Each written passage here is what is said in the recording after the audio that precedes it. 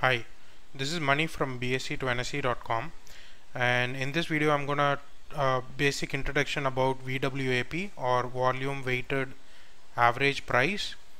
So uh, I think you know there might be an indicator like average traded price which is nothing but the average of all the trading price or the prices where the trading happened throughout the day now it's very similar to EMA only that EMA normally you pass on a parameter like 10 so if you're looking at a 5 minute candle this is a 10 minute candle. So if you're looking at a 10 minute candle and passing a parameter as 10 so it will calculate the EMA for the last 10 candles alone. So it will be a moving time frame.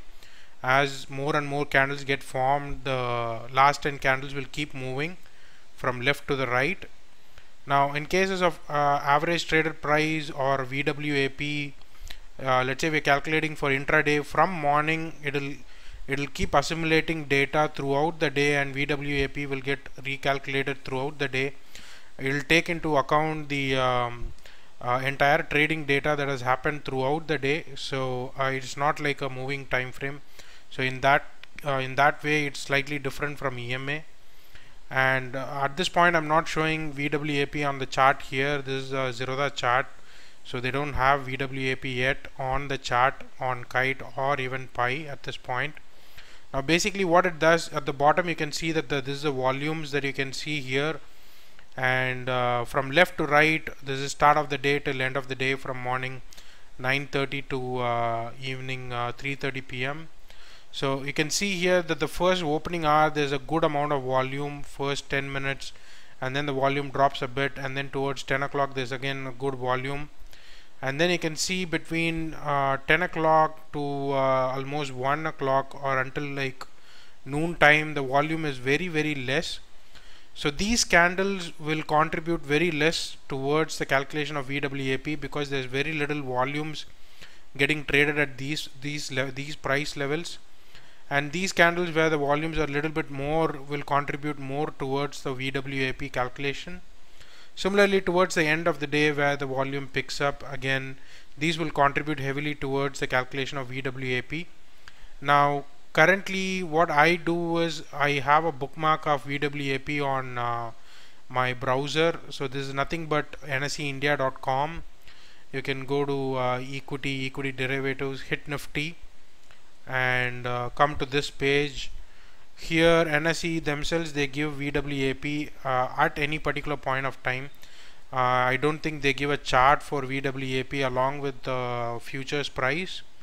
And remember that VWAP uh, for calculation of VWAP you need volume along with the price.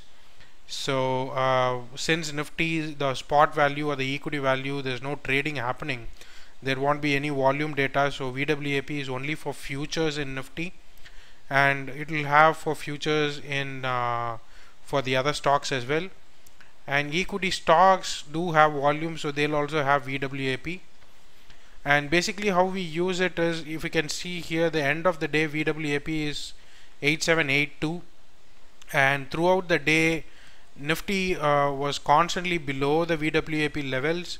And I think uh, only this period when uh, Nifty you know was spending some amount of time about uh, you know after like 1 o'clock to 2 o'clock here. Uh, at this point VWAP was around 8780 and it was kind of constantly trading above this VWAP and again once it finally cracked below it it cracked uh, quickly below it. So for traders especially early in the morning what I do is I combine it with the 100 point theory. So uh, I look at if there is an opportunity based on the 100 point theory and then if the price is going below VWAP and 100 point theory is also uh, telling me to short I'll take a short entry. And as Nifty goes down you can push the stop loss into the profit zone or use VWAP as the stop loss. So if you shorted here and then VWAP here by this time was 8780 so you would have eventually booked profits at 8780 you booked your shorts here at 8780 here VWAP was around 8785 so it exactly came close to that level and then dropped another 20 points and then recovered. So uh, right now uh, I don't have VWAP along with the chart so I'm not able to show how good it is. Uh, so what I'll do is I have intraday data with me for futures uh, of all the FNO stocks. So I'll try and soon implement VWAP on uh, BSE to NSE.com so we'll have VWAP data along with the chart we can display with the chart um, for the intraday dashboard tool. I'll try and incorporate it there. And then probably within the month I'll uh, have it in place so that we can uh, see how useful it is and try and execute intraday bracket orders either short or long based on it. And I think if if uh, it's used properly then it can help with uh, trading specific stocks as well so we'll try and use it for that as well. Uh, I think but any anyway I think you should start with using it on Nifty and Bank Nifty. Practice it on Nifty and Bank Nifty first uh, see if that yields you consistent uh, profits. Then you can slowly move into stocks because stocks will be more challenging and more volatile. So the profits and losses can be uh, pretty pretty huge.